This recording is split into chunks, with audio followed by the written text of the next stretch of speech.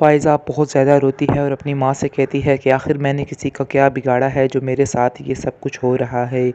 आगे से किरण ये सब बातें सुन लेगी और कहेगी कि एक तो तुम्हारी ज़ुबान इतनी लंबी है जिसकी वजह से ये सब कुछ हो रहा है, क्योंकि तुम बहुत ज़्यादा ज़बान चलाती हो। हमारे घर में भी तो आके कितने देर से बैठ गई हो।